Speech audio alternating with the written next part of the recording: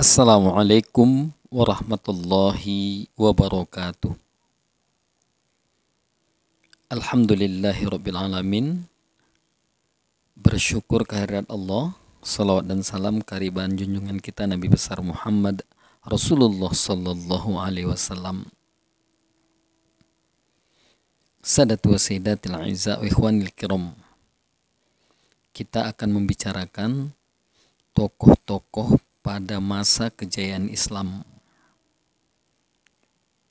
Mikdad bin Amr seorang ahli filsafat yang dicintai Allah Subhanahu wa taala dan rasulnya.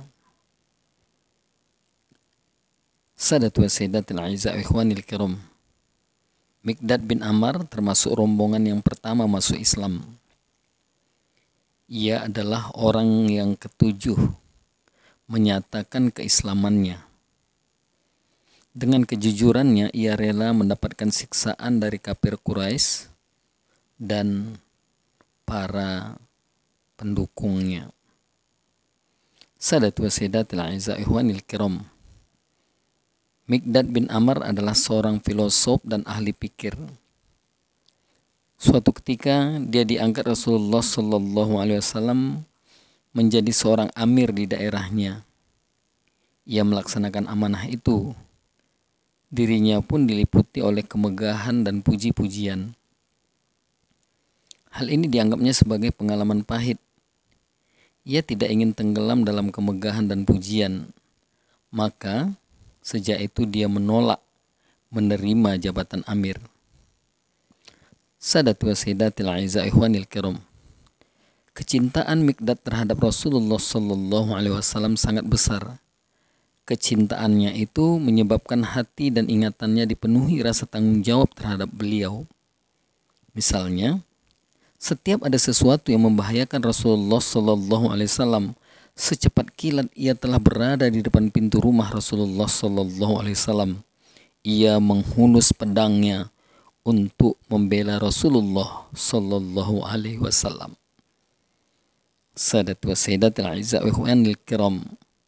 Demikian Mikdad menjalani hidupnya.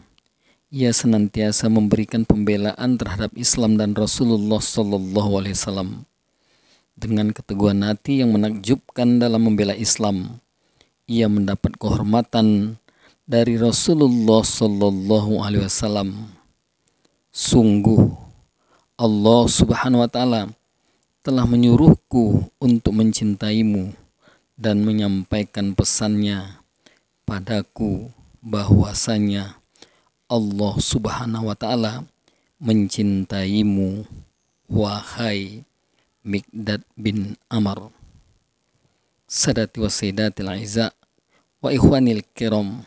Demikian kisah Mikdad bin Amr, seorang ahli filsafat yang dicintai oleh Allah dan Rasulnya.